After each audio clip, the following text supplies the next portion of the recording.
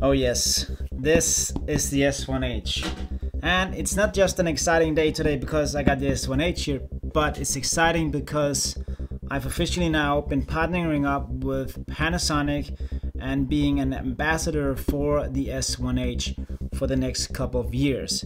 And that means that I will be able to work with this camera and with the, the company behind the camera. That is pretty amazing. And yes, of course, they also sent me both the uh, 24 to 70 f 2.8 which is an amazing lens. But first today we're gonna take a look at the s1h which is in this box. It's gonna be an exciting time right? So let's get this uh, video going. Here we go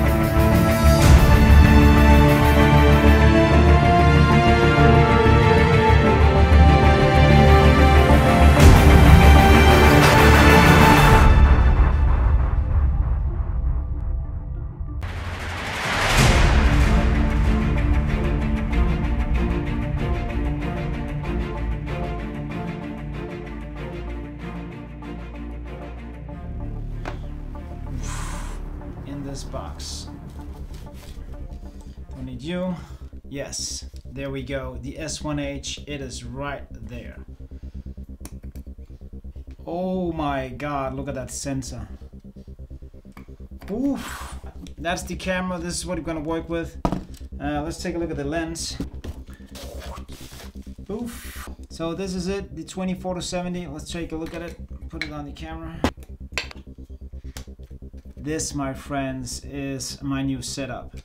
The uh, 24 to 70 with the S1H, it's a heavy beast. So now that we got the camera and we got the lens, what else do we need? We need an ND filter. Yes, correct. Boof! I went out and bought this one myself. I got it for the G85, which is right there. It's an amazing filter. So let's take a look at it. Yeah, the Polar Pro Peter McKinnon series ND filters, they're just amazing. And just look at the box. It is just, it just feels solid. So we open it up and there you go. We got the ND filter in here. Just show you. And the great thing about these filters is that it has this cap. This lens cap. So you screw it on. Take the camera. There we go.